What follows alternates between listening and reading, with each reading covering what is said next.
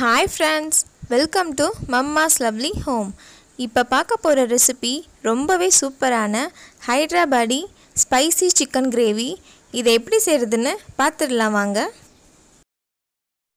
அதுக்கு கடாயில் ஃப்ரை பண்ணுறதுக்கு தேவையான அளவு ஆயில் ஊற்றிட்டு ஆயில் நல்லா காஞ்சதும் ஒரு மீடியம் சைஸ் வெங்காயத்தை இந்த மாதிரி சைஸில் கட் பண்ணி வச்சுருக்கேன்.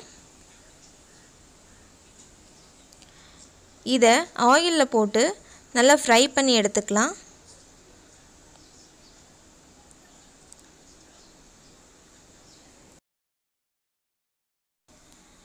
இது நல்லா கோல்டனாக ஃப்ரை ஆகணும். இது ஆயிலேருந்து எடுத்ததும் நல்லா கிறிஸ்பியாக இருக்கும். ஸோ அந்தளவுக்கு ஃப்ரை பண்ணி எடுத்துக்கலாம். இது எதுக்கு நம்ம ஃப்ரை ஃப்ரை பண்ணுறோம் அப்படின்னா சிக்கனை நம்ம மேரினேட் பண்ணுறதுக்கு இது தேவைப்படும். ஸோ அதுக்காக இதை நம்ம ஃபஸ்ட்டே ஃப்ரை பண்ணி எடுத்துக்கலாம். அடுத்ததாக மிக்சி ஜாரில் ஒரு துண்டு இஞ்சி நாலு பல் பூண்டு கூடவே ஒரு கை அளவு புதினா எடுத்திருக்கேன். அதையும் ஆட் பண்ணி இதை நல்லா பேஸ்ட்டு செஞ்சு எடுத்துக்கலாம்.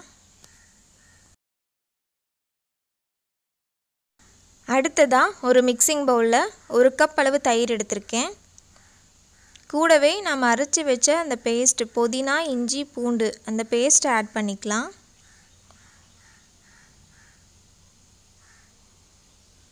அடுத்ததாக நாம் ஃப்ரை பண்ணி வச்ச அந்த வெங்காயத்தை இதில் ஆட் பண்ணிக்கலாம்.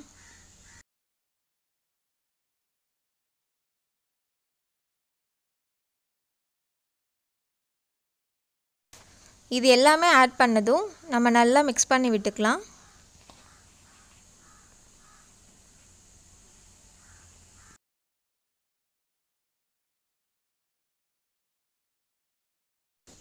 இப்போ இந்த மிக்சர் ரெடி ஆகிடுச்சு அடுத்ததாக நான் ஒரு டூ ஃபிஃப்டி கிராம் அளவு போன்லெஸ் சிக்கன் எடுத்திருக்கேன்.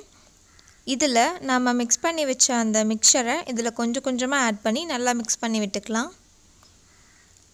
இதை நல்லா மிக்ஸ் பண்ணிவிட்டு ஒரு கால் மணி நேரத்துக்கு அப்படியே மேரினேட் பண்ணி வச்சுக்கலாம். அடுத்ததாக ஒரு பேனில் ரெண்டு துண்டு பட்டை ரெண்டு டேபிள் ஸ்பூன் தனியாக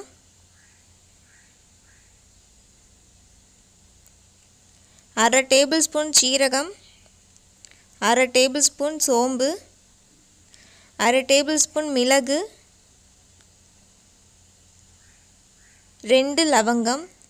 இது எல்லாத்தையும் ஆட் பண்ணிவிட்டு நல்லா வறுத்து எடுத்துக்கலாம். இது வந்து லோ ஃப்ளேமில் வச்சுக்கோங்க. இதை ஒரு ரெண்டு நிமிஷத்துக்கு வறுத்து எடுத்தால் போதும்.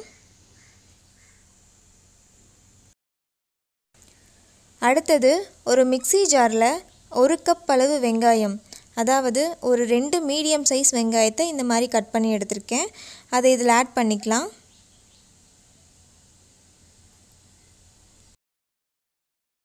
இது கூடவே வறுத்து வச்ச மசாலாவை ஆட் பண்ணிக்கலாம்.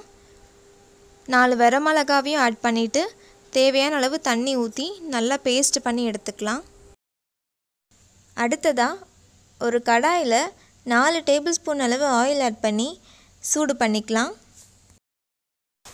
ஆயில் சூடானதும் நாம் அரைச்சி வச்ச வெங்காயம் மசாலா பேஸ்ட்டை இதில் ஆட் பண்ணி ஒரு ரெண்டு நிமிஷத்துக்கு நல்லா வதக்கிக்கலாம்.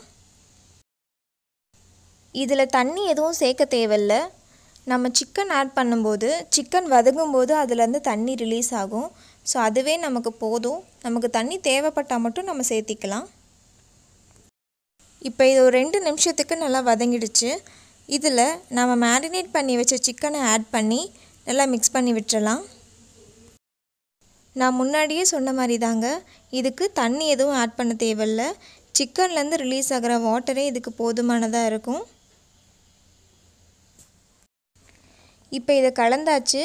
இதில் தேவையான அளவு உப்பை சேர்த்திட்டு நல்லா மிக்ஸ் பண்ணி விட்டுறலாம். இதை நல்லா மிக்ஸ் பண்ணியாச்சு. சிக்கன் வேகிற அளவுக்கு இதை ஒரு அஞ்சு நிமிஷம் மூடி போட்டு க்ளோஸ் செஞ்சு வச்சுக்கலாம். இப்போ ஒரு அஞ்சு நிமிஷம் ஆயிடுச்சு சிக்கன் பாதி வெந்திருக்கு. இந்த டைமில் ஒரு ஒன்றரை ஸ்பூன் அளவு மிளகாத்தூள் சேர்த்துக்கிறேன். எதுக்குன்னா இந்த டிஷ் வந்து நல்லா ஸ்பைஸியாக இருக்கணும் ஸோ அப்போ தான் நல்லாயிருக்கும் ஆல்ரெடி நாம் நாலு வரமிளகா அரை ஸ்பூன் மிளகு சேர்த்துருக்கோம். கூடவே ஒன்றரை ஸ்பூன் அளவு மிளகாத்தூளும் சேர்த்துக்கலாம்.